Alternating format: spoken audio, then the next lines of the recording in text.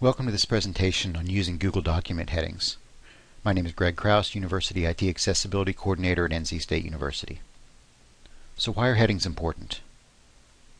First, headings help screen reader users easily navigate your page. It lets them skim the content of a page without having to first read all of the text on a page in order to understand the basic overall structure of the page. Second, it's a requirement of the Web Content Accessibility Guidelines 2.0. These are the standards most widely used to design accessible online content to ensure that the maximum number of people will be able to access your content. So what are the steps to properly use headings in Google Documents? First, use Google Documents built-in Styles toolbar to denote headings within a page. Don't simply change the font styling to denote headings by making something bigger or bolder when you actually go to the style menu and choose a bit of text as a heading 1 or a heading 2, what you're doing is you're changing the code underneath the page to actually say this is a heading, not just this is something bigger and bolder. That's the piece that needs to happen in order for assistive technologies like screen readers to take advantage of that feature. And remember, if you do customize your heading styles because you don't like the default styles, remember there's a step you have to go through to actually update your custom heading styles. One nice thing about using headings in Google Documents is that anytime you denote a heading within a Google document, if you export that to another format like Microsoft Word, those headings do carry over to those other formats. So let's see this in action. So here I have a sample Google document that is really just plain text, and I want to style it up to make it a little easier to read. So if you've never used headings before, your instinct is probably just to come here and here's the title so I'm going to make that you know, bigger and bolder and maybe I'll center it. And then here's some text. So you might make that a different size and bold it like that and go forth. And that might be how you want to make your headings except when you're doing that all you're really doing is changing the font the way it visually looks. You're not actually telling the document hey this is a heading so I'm going to undo a couple of these steps here.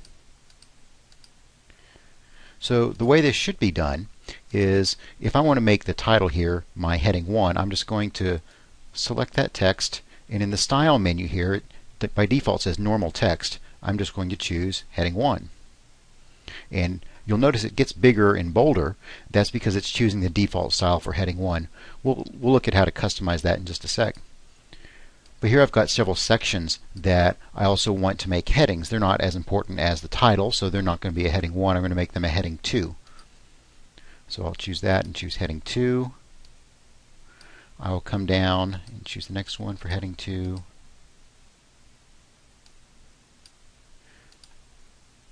And so forth for all of my heading sections. Now, if you're happy with the default style, that's all you actually have to do. And you've now put headings in your page. And so if you export this to a Microsoft Word document or copy and paste it into something like Dreamweaver, the headings will carry over with that and you, you retain all that accessibility information. But let's say you don't really like these default styles and you want to change them a bit. So I'm going to start with these heading twos. Maybe I really want each of these sections to have an underline to them too. So what I'm going to do is I'm going to select the text here and I'm going to go ahead and leave it as a heading 2 and I'm going to now change the font characteristics about font properties. So I am now going to just choose to go ahead and additionally underline this so it's a heading 2 with an underline now. But now I have a heading 2 down here that actually didn't change. So if I want all of my heading 2s to look the same, what I need to do is I'm going to click back here on my heading 2 and go back to my style menu now in heading 2 I've got a submenu that'll pop out and I can say update heading 2 to match the selection. And when I do that, now all of a sudden all the heading 2s will have this same underlined look to them. So similarly, if I wanted to change my heading 1, maybe I do want that to be centered. Now, here I'm only going to have one heading 1, so it's not as critical to update the style, but it's still a good thing just to get in the practice of doing. So I'm going to go ahead and update that. So if I do apply another heading 1, it will be centered as well. And just for consistency here, I'll go ahead and center that text.